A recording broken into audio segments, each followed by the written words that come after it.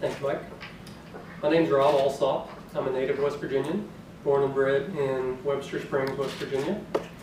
I'm a two-time graduate of West Virginia University with an undergraduate degree in political science and a law degree from our College of Law.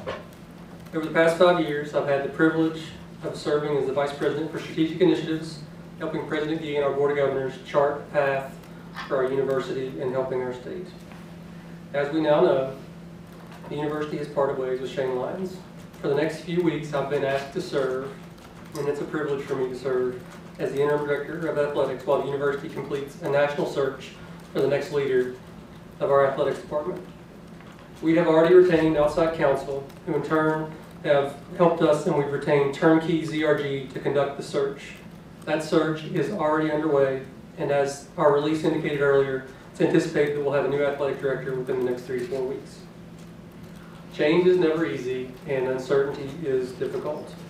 With those facts in mind, President Gee asked me to share what my goals are for the next few weeks, and they're simple and straightforward.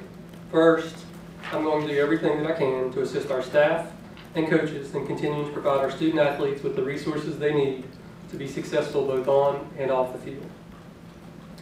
Second, I'm going to do everything I can to make sure that the groundwork is established for our next athletic director so that she or he hits the ground running to be successful in their endeavors. Over the past several years, I want to note that I have worked with our team in athletics, from Shane to Kelly, Steve, Simon, Matt, April, and a host of others, as well as engaging with our coaches. We have a great staff, and I'm looking forward to working with them and supporting them um, in any way that I can. I've been involved in some of the major planning for athletics, from capital projects to navigating through COVID and the decisions we had to make through that, and also involved in supporting, um, working with our partner in Learfield. I've got a working familiarity with the athletic department and with the help of our dedicated staff. I'm confident we'll continue the forward momentum over the next few weeks as we complete our search. I also want to hit on a couple of other thoughts. Um, no one has any position forever. I have my dream job, and hopefully it's not too soon, but sometime, someday, someone will take my position. Um, I hope that they'll celebrate all the good things that I have done, but they'll also take an opportunity to see the world a little bit differently and see how they can improve upon the strong foundation I've built. I think that description is apt here. We have a strong tradition in the WU athletic department, and Shane certainly built on that. He is a good friend, um, a great man, and he was a good leader for our athletics department. I'm grateful for my friendship with Shane and all he did to elevate WU athletics. Again, my goal is to prepare the path for our new athletic director to take our strong foundation and build on it. Make no mistake, armed with the great history that WU has, all of our great facilities, our student athletes, our coaches, and our conference, and importantly, the terrific new deal that our leader, Brett Yormark, has negotiated, this will be a sought-after job, and I'm confident we will find a terrific candidate to be our new leader. Finally, I know that our alumni, students, and fans would prefer to see different numbers in wins and losses. All of us are committed to making sure that we are successful both on and off the field. I like to win, I like to succeed, whether it's Rhodes Scholars, Truman Scholars, GPA, graduation rates, helping with the state and with athletics. We like to succeed. We want to be driven, and we'll continue to work towards that goal.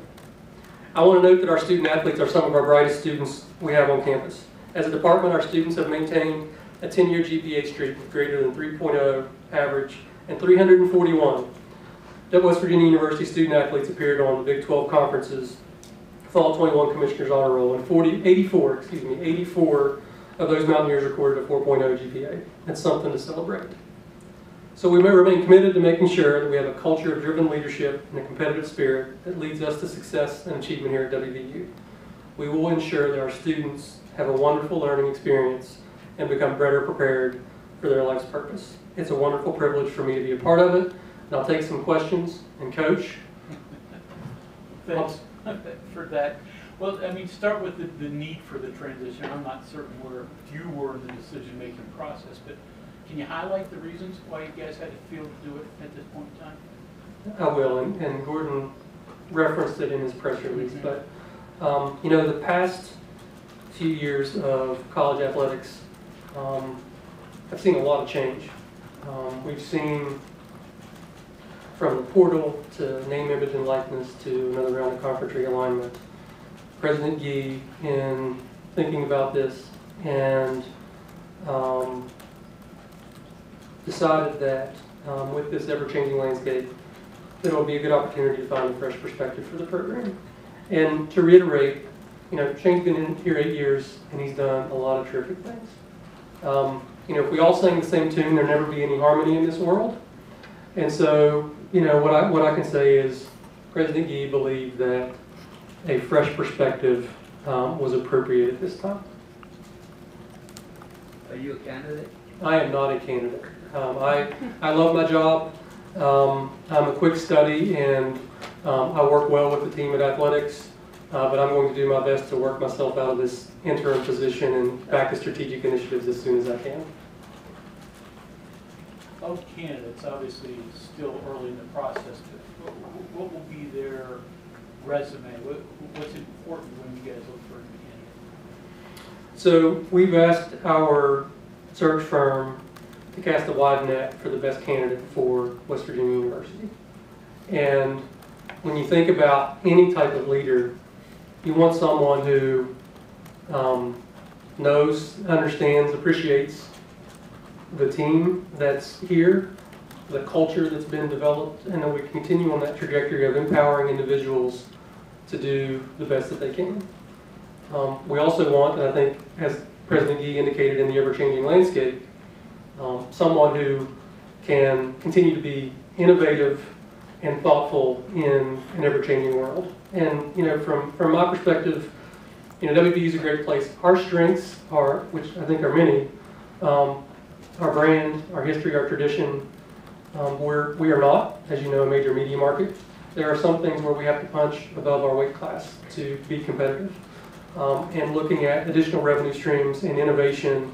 And again, the ever-changing landscape of college athletics is something that um, we will be focused on in looking for our next leader. Well, obviously, uh, financial constraints, concerns are probably gonna come into play with not only, with maybe teacher moves down the road, this and that and the other. Um, Can you, can you tell me, was there a buyout in Shane's uh, contract and what that information might be, or? So there are provisions relating to Shane's contract with respect to terms of compensation, but um, I'm not going to get into the specific details um, of that. There are others at the university who um, can make that contract available at the right time, but I'm not going to get into the specifics of Shane's contract. And then can you share what the uh, firm will charge WVU for the, for the search? I will get that to you. I don't have it off the top of my head. I don't give you something incorrect, but I'm happy to get that information for you.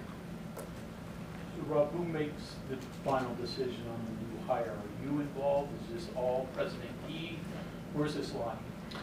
So President Gee, um, under our governance structure, will be the one who is ultimately responsible for hiring an athletic director. Um, He's someone who, um, you know, um, a big, um, long sort of process and, and procedures. He's, he's someone who, he's going to engage with the appropriate stakeholders and go out and get the best candidate he can find, and he'll go through that process. Um, I, I will be privileged to take part in it, but it will be his decision. Rob, if, um, if I could just pick on something you said a little bit, you mentioned a couple times the ever-changing landscape. Um, I think we have an idea of is, but maybe it has your concern about maybe shortcomings or opportunities in the future for you. What- What is that and how has it affected what we all have chosen to do here?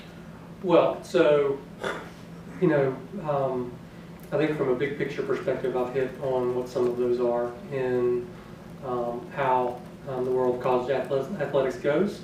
And it's a matter of looking at those macro level factors that um, the president decided um, to bring in that fresh perspective. And I'll leave the details of um, the specifics of that strategy to President Gee and the new AD. How did you get, how do, you know, how do you get to the timeline of three to four weeks? Is that, um, you know, what the goal is, or is that kind of what the kind of standard, I guess, is timeline? So in um, discussions with um, our search firm, we think that's, it, it may be longer, um, but we think this will be a sought-after position, and then hopefully we'll identify the best candidates and come to a resolution moving forward. As I've indicated, I, um, I am happy to step in and help lead a great team. Um, but moving to, um, that person who's going to chart that course, um, on a time that we can do it and make sure we've got the best candidate, we think we can move quickly. Has the- the university worked with this search firm before? This search firm was retained by the Big 12 Conference in the search for Commissioner Yormark. And so President Gee has a working familiarity with the, with the team. Um, I'm not aware of whether there's been any, any other work with the university. Take us through the uh, uh, process of, in your mind, uh, the day, the day when they said, would you be interested in this? And, and from there, you know, what you went through to just make that decision. Well, you know, over the past um, few days, um, you know, the president asked, and um, I told him that if he needed me to do it, that I would. Um, When um, the position I'm in at the university, I'm really fortunate to work with our board of governors. Um, I have at least helped facilitate when we've had a big decision we need to make for, for through. And so I think, I don't want to speak for President Gee, but at least I have a working familiarity with the folks in athletics um, to be helpful over, over this process. But it was, you know, President Gee is, is, is our leader and uh, do anything I can to help him and this university move things forward. When you, when you found out you were gonna, when you said, okay, I'm gonna take this, uh, go to your wife or, uh, go to, Yeah, go so- to family, go to, So I talked with my wife, um, and she was very supportive.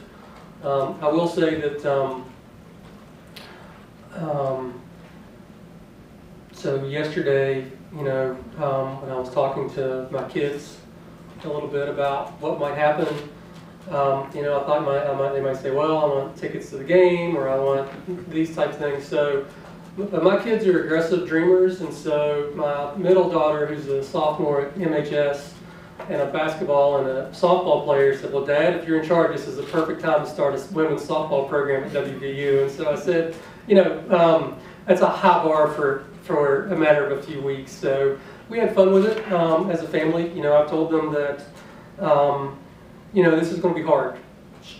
Um, I'm good friends with Shane. Change is never easy. There's a lot of folks in the athletic department who um, are, are sad um, because of their relationship with Shane. And so my family knows the next few weeks for me, I'm going to be, be burning the candle at both ends to help serve all those dedicated folks, and we're, we're in good shape.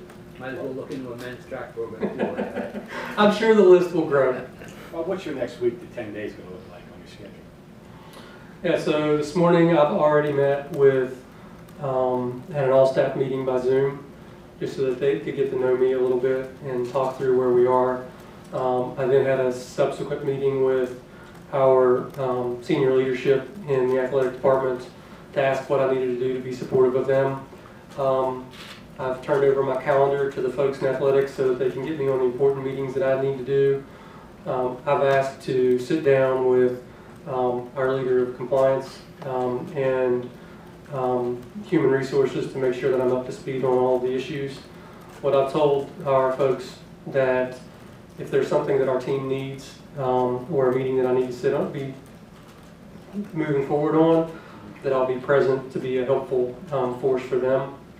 I will, as I think I mentioned to Coach Hunter, I'll also be involved in the search process, and so that, that'll take up some of my time. It's going to be spending time with the people who run the department and being supportive of them. How were uh, other members of the athletic department, uh, coaches, assistant coaches uh, informed? When were, when were they informed? And, you know, like, what were some of their reactions?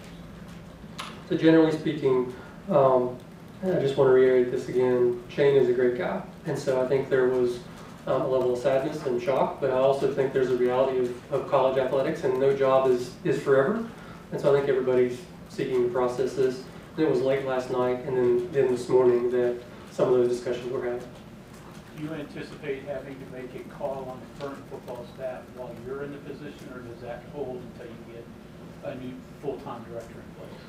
Yeah, so um, the, I know there'll be some speculation that this is the first shoe of two shoes to drop, and I just want to disavow that. This is an, this is an independent um, decision, and I'll, I'll, I'll go about this way. You know, when you watch the game this weekend, uh, it was pretty clear, and whether it's you know, the spark with Garrett or what Sam James did or Dante in the defense, um, those student athletes, those kids have not given up on each other or on this season, and they have not given up on their coaches. Um, and neither have we. Um, we have not given up on our head coach, our assistant coaches, or those players. We've got two games to go, um, and we intend, and I intend, during this interim period to support them in any way that I can. Um, as you might imagine, when a new athletic director comes in, um, that individual will do an evaluation of the general direction for the department. And, you know, the only thing I'll say is we're all, we are not, we are all um, not satisfied with the wins and losses. But President Gee and our new athletic director, you know, will take an appropriate long-term look at the direction of all of the Department of Athletics and make a thoughtful decision moving forward. And so that's, um, that's where we are right now, um, going forward.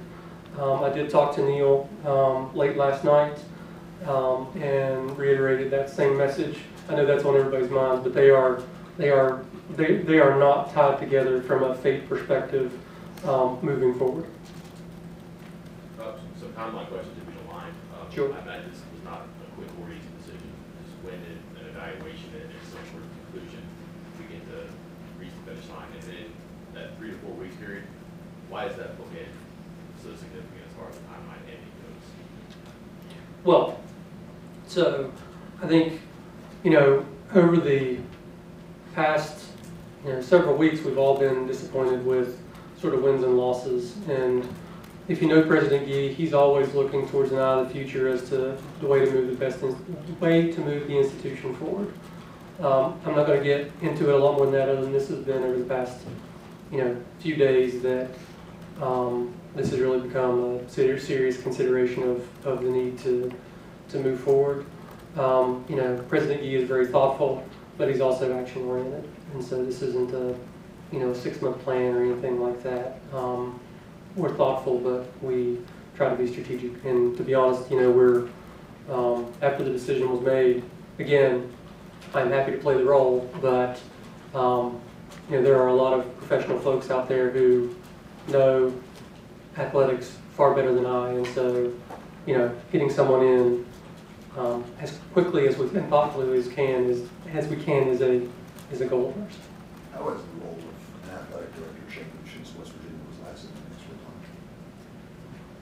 Well, I think there's a lot of things that have um, changed, and so in the past eight years, we've seen um, conference realignment. We've seen a number of court cases that have changed the um, dynamic as it relates to the opportunities for our student athletes.